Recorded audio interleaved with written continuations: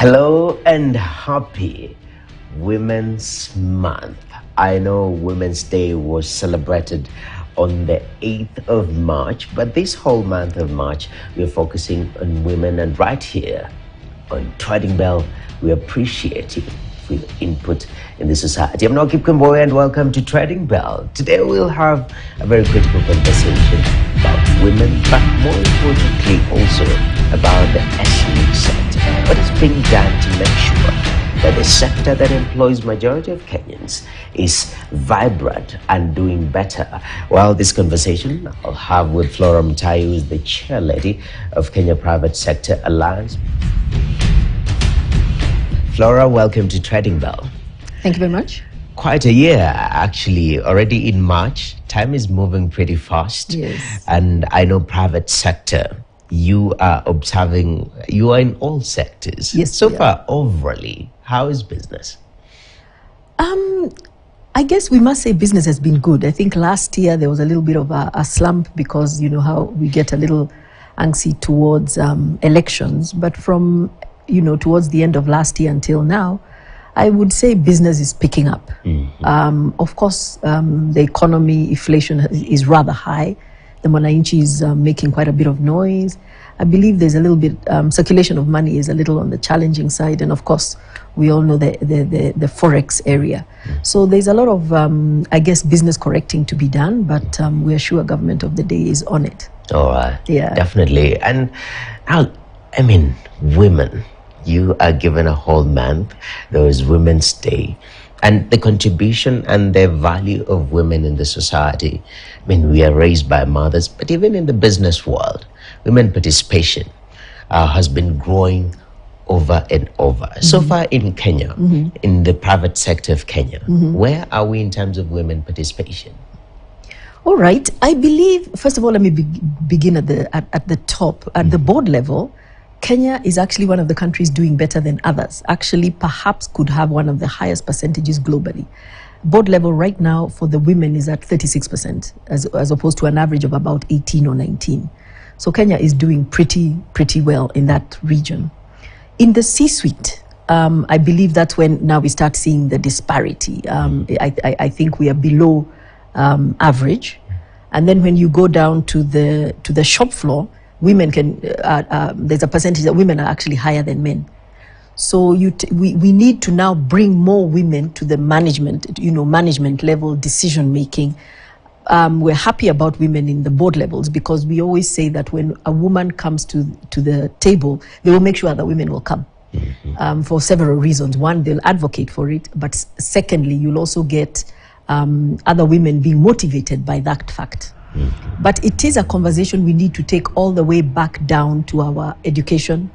We need to take back down to our cultures mm-hmm. because for a long time, and remember, International Women's Day started all the way in 2011 when they started seeing, you know, there was a disparity because it was always the man gets the job and goes to work and the woman does the, the jobs in the home. So culturally, there are a lot of cultures that are still in that space that don't believe that women should be out there. And that's the woman we are really trying to empower and say, allow her to make her decision. Because, you know, for us who have been who have been fortunate to be brought up in an empowered uh, environment and home, it doesn't mean my home suffers. I've got three children and a husband, and life life goes on. It doesn't mean women. In fact, we are very well known to multitask. So it's really about bringing more and more women to the table and making sure that um, we bring the parity. So it's in management level right now that we are really trying to make sure. And allow me to show off, um, as KEPSA, the Gender Sector Board last year launched a gender mainstreaming policy. What does this mean? We've been pushing government to have two thirds, the woman has to be two thirds. Really, ideally, you know, it's supposed to be 50 50 like we were born. So, this policy is a very simple seven point agenda that breaks it down to actually say, I mean, principle number one is um, gender mainstreaming should actually happen at strategy level. It should be driven by the board and it should be, you know, and cascaded down to the, to the, to the rest of the department. The second one is we, used we need to set targets. So we need to set uh, we need to set targets not only to do it at the board level. So each and every manager needs to have a target. And let's say in a very highly male-dominated environment, banking, manufacturing, you know, you'll tend to find it's thrown to the HR to actually drive gender mainstreaming. But it should not. It should be told, you know, the head of the department, you know, should be the one saying, we set targets. What is it? What are your numbers? Are you 30, 70, 60, 40? Uh, by, the, by a certain, certain period, we want you to have parity. And they'll probably then tell you, no, no, no, when we do our interviews or when we, we ask for the job um, JDs or when we ask people to apply, the women are not applying. So you then target that same manager to look at the job description. Is it skewed too much towards men? Is it skewed in a way that is, is not allowing? The other way you, you also target them is then, then you ask them, perhaps you could go to the schools where this is taught.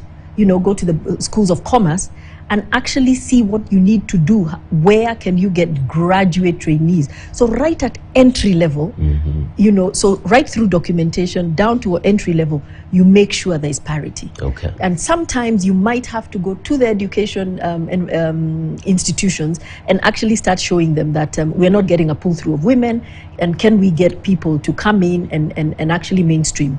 So you'll have an engineering firm actually saying, I will pull from this university all the women who do this particular course. And the, and the minute you have women going through a pipeline, the rest get motivated and the rest start applying and eventually you start driving gender mainstreaming. So it's a very, very simple policy that we've, de- that we've developed. Okay. But another um, point around it is educating the managers. All managers need to be educated. You know, case in point is, um, you know, we, we did see uh, an article around a tea farm that, um, you know, there was an unfortunate um, incidences that are happening that is affecting our major um, cash crop, Yes. which is which is tea. Um, and you know it, it- we rely on it for foreign exchange.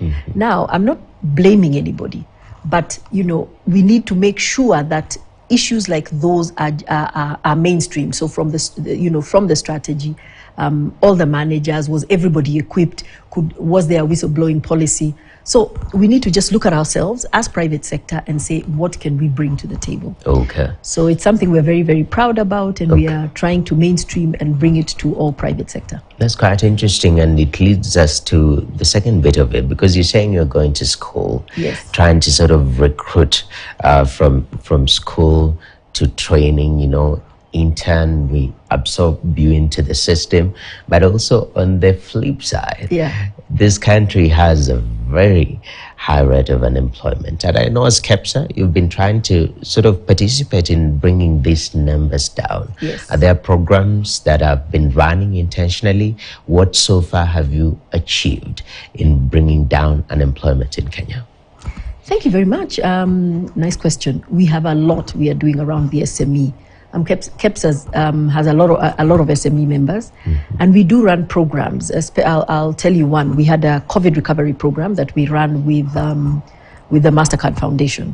What it was, it was interest-free loans that we were giving the SMEs who suffered during this period, up to a limit of five hundred thousand, where you'd come and get a loan without too many questions asked, so that you could be able to to to give back. We have a, a program that we run. Um, the government run. It's an Ajira program we run in collaboration with the government. So we are the implementing partner. So what we've done is really um, help the youth in this digitization conversation. So we are capacity building them, um, you know, taking them through training how to use how to how to look for digital jobs, because that way they tend to be self-employed and they are able to to create jobs.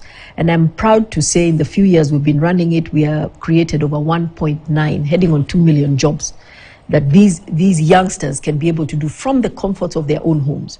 So remember, if I'm in my own home, I don't have expenses, and I'm able to do digitization. The interesting thing about it, we're also um, giving that service to the to the government. So.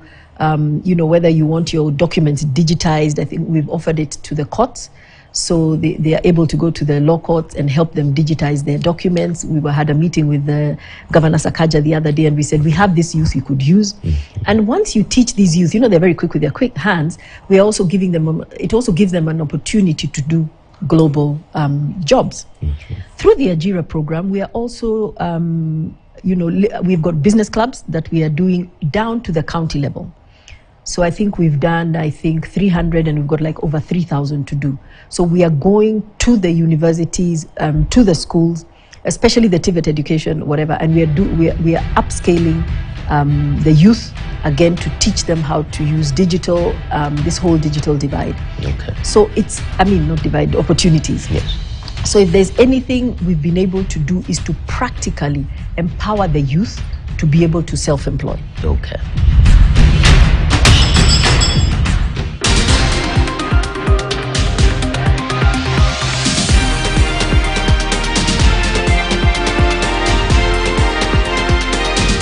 KTN News. Get the whole story.